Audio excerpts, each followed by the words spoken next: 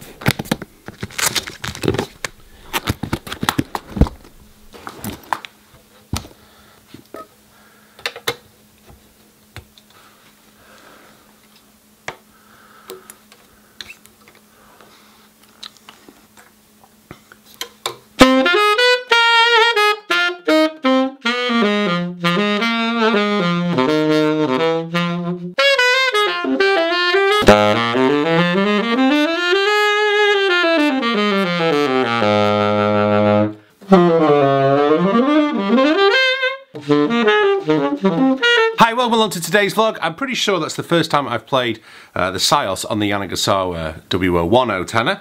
Sounds absolutely fantastic. Really, really pleased with it. Really, as usual, as with this style, so free blowing. I've got this out today because I wanted to answer a question that David Arato posted on my uh, Mark 6 video, which is why are Selmer saxophones so expensive? Well, I'm not going to say about Selmer because that's uh, Selmer's question to answer, but saxophones. Why are saxophones, particularly from the top three brands, that's Selmer, Yanagisawa, like this one, and Yamaha, why are they so expensive compared to, say, something you can buy on Amazon, something you can buy off eBay? And there are a number number of reasons for that, most of which I'm sure you're aware. As a teacher, I only really recommend Selmer, Yamaha and Yanagisawa. Why is that? Well, first of all, they've got decades, and in Selmer's case, nearly a century worth of experience of making saxophones.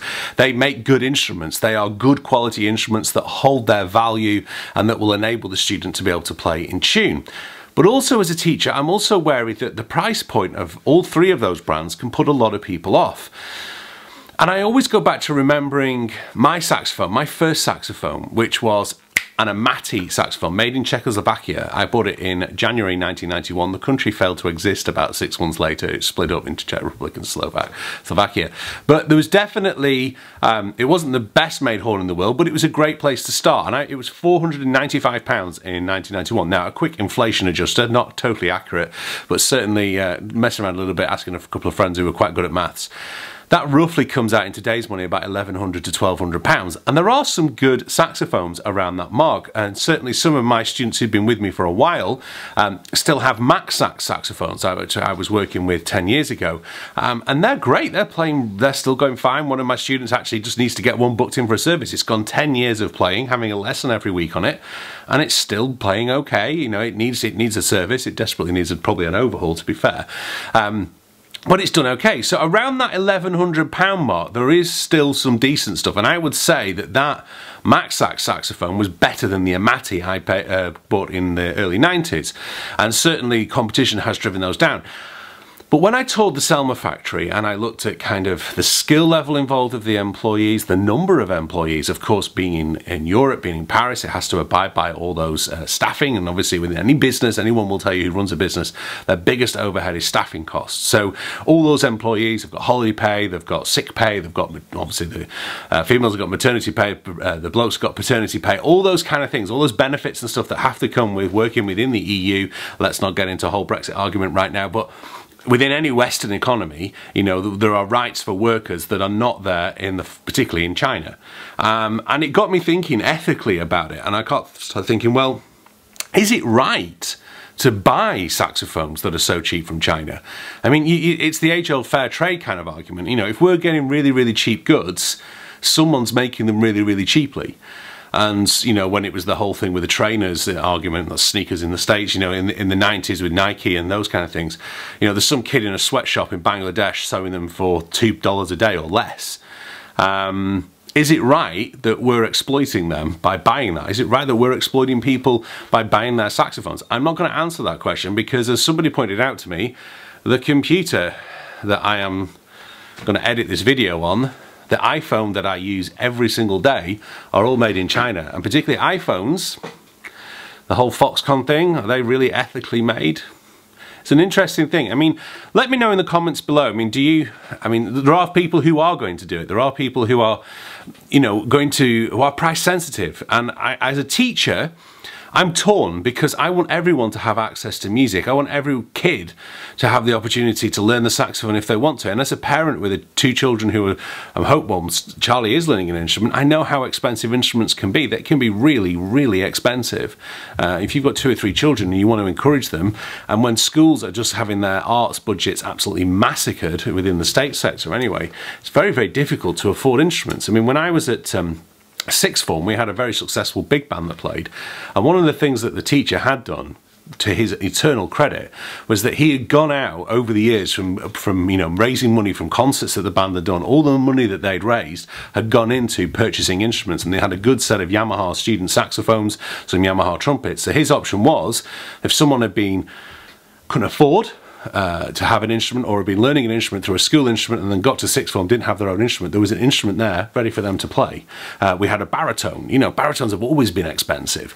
Um, so it isn't cheap to make a musical instrument. Certainly if it's been made on the cheap, it's often quite cheap. It's not very, very good. There are, you know, and some of my colleagues on YouTube have gone out. There are a couple of videos knocking about where people have bought the cheapest possible saxophone off Amazon and compared it to a pro model, but I would argue what is a pro model. But definitely I would say there's an argument to be had on this. I'd also say that not all markets are as price sensitive as we are here in Western Europe and the US. Uh, you know, in the, that kind of westernized culture, we are quite price, price sensitive when it comes to goods. We've become accustomed to jumping on the internet and price comparison sites, trying to find the best deal for us. And I was reading something else this morning in a, in a book, and it's kind of said, you know, what goes around comes around. Uh, you know, I'm not necessarily into this whole karma thing, but there is certainly an element that you know, there's you reap what you sow. Um, you're out there supporting manufacturers that treat their employees well, that that you know go to great lengths to make sure they're making you a brilliant instrument, and you will nine times out of ten get a very very good saxophone. You'll have to pay for it, but you know, you have to pay for the good things in life. As I've said in other videos, there's a reason why BMW, Mercedes, maybe not talk about BMWs given what happened with me and my BMW, but there is a reason why Mercedes cars cost, Teslas even cost so much money. They cost a lot of money to make good things. Good things cost money.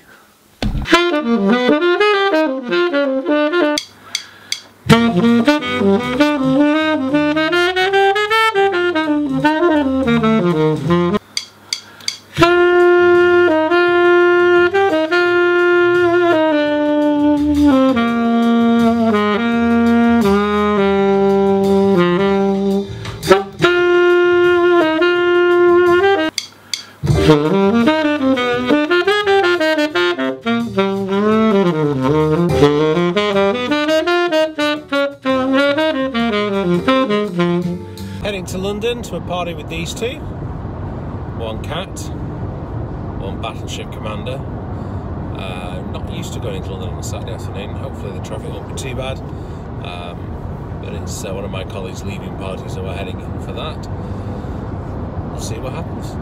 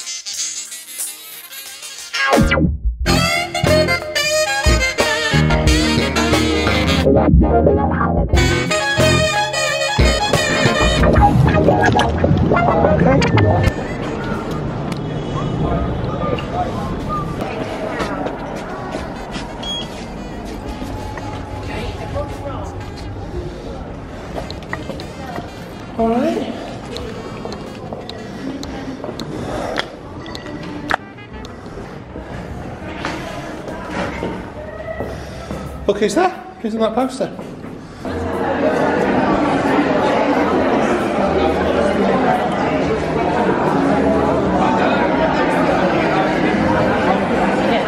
What were you just asking me? Um, what? So Amy was asking, what top five historical places would I like to visit? So there's a chance for another vlog. Thank you very much for watching today's vlog. Hope it wasn't too controversial. Like I said, you know, who, that kind of a whole question about saxophones, who knows? Uh, make sure you check out my last vlog here. This is what I was up to this time last year. I will see you really soon. See you later.